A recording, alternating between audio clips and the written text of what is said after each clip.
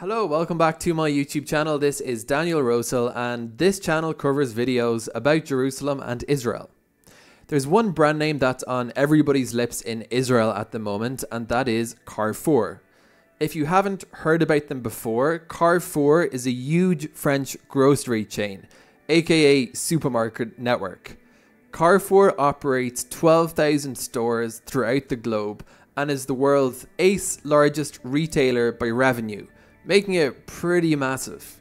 It operates stores in 30 countries throughout the world, and more than half of its revenue is now generated from outside of France. More importantly for Israeli customers, Carrefour is known for its affordable products and its own label goods, helping consumers to shop affordably.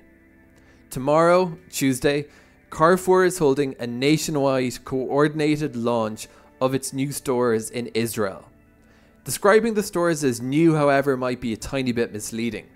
Carrefour's entry strategy to Israel involves tapping into an existing chain of supermarkets in order to launch its own stores.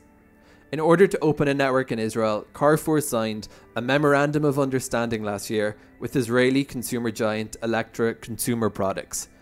Under the terms of the MOU, supermarkets that had previously operated under two different brand names, Yenot Bitan and Super, will become Carrefour stores. Around the same time, Shufersal inked a tentative agreement to bring Spar to Israel, meaning the two internationally recognized grocery stores could soon be gracing Israel's towns and streets. During the intermittent period of the franchise agreement between Carrefour and Electra, the supermarket retained their original names, Yenot Bitan and Super, but have begun stocking Carrefour branded products. However, this will change on Tuesday with the new rollout when the stores will fully shift over to the Carrefour store branding. The scale of Carrefour's plans to set up and ramp up operations in Israel are pretty impressive. On Tuesday, nine Carrefours will open in Tel Aviv, four in Herzliya, three in Beersheba, three in Ashdod, three in Haifa, and one in Ramat Beit HaKerem, which is outside of Jerusalem. As many as 100 new stores are expected to open throughout the country by year end. So, why is all this significant? The arrival of Carrefour into Israel will mark the first time that an international grocery chain has decided to make a large scale bet on breaking into the Israeli market. Of course, there are plenty of international franchises operating in Israel. There's McDonald's, Zara, and Decathlon to name three. But so far, we haven't seen an international supermarket chain break in here. This might be because Israel presents unique challenges for retailers given the requirements for goods to be kosher, acceptable to Jewish dietary standards. At 10 million, Israel is also considered a relatively small market in the big scheme of things. For prospective global retail giants such as Walmart, for example, it's easy to understand how these two factors taken together might seem off putting. The requirement for stiffer competition in the, in the Israeli food sector, however, is definitely there. Israel suffers from a chronically high cost of living, and the high price of basic foodstuffs is a major component of that. In fact, it was anger at this very dynamic that sparked a wave of national protests in 2011, which took their rallying call as the unacceptably high price of cottage cheese, which is considered a basic daily staple by many Israelis. The problem extends way beyond cottage cheese though.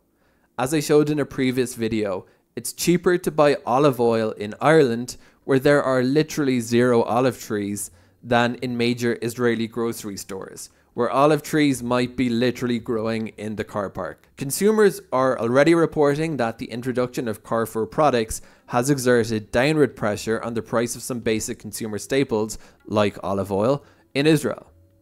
A major cause of the high cost of living in Israel is government policies that have shielded Israeli companies from foreign competition, resulting in the establishment of monopolies and oligopolies who can set prices artificially high.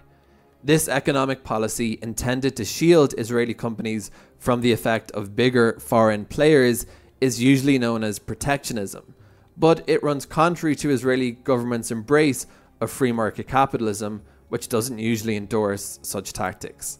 Beyond the immediate effect it might have on prices at Israel's main grocery chains, Shufersal and Rami Levy, the arrival of Carrefour into the Israeli market may prove to be a successful case study which encourages other foreign retailers, beyond those in the food sector, to take a chance on serving this market. Needless to say, not everybody is thrilled to see the French giant coming to Israel. If two Israelis have three opinions, then it's safe to say that about Carrefour, there are probably going to be four. Some are worried that Carrefour will be able to tap into economies of scale that Israeli supermarkets simply cannot, forcing other supermarkets to make unrealistic price cuts in order to keep competitive. Many worry that the pain will ultimately be felt by suppliers. In other words, the livelihood of small Israeli businesses may be harmed by the foreign entrant. Either way, like millions in Israel, I'm personally extremely excited to check out the opening tomorrow. And if I can convince someone to allow me to record a video, and trust me, I've been trying, I'll give you guys a look at the shelf layout, the prices, and the product selection in the new branch in Jerusalem. I hope this video has been worth your time. Thanks for sticking around with it until the end. And if you'd like to receive more videos from me, then please do consider subscribing to this YouTube channel. Until next time.